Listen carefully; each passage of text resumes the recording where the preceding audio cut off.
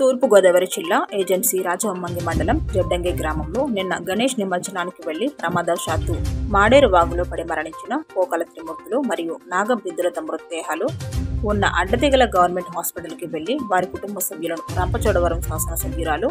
నాగులపల్లి ధనలక్ష్మి పరామర్శించి వారి కుటుంబ సభ్యులకు ప్రగాఢ సానుభూతిని తెలియజేశారు. ఈ సందర్భంగా ఎమ్మెల్యే ధనలక్ష్మి మాట్లాడుతూ గణేష్ నిమజ్జనంలో జరిగిన ఈ ప్రమాదం చాలా దురదృష్టకరమని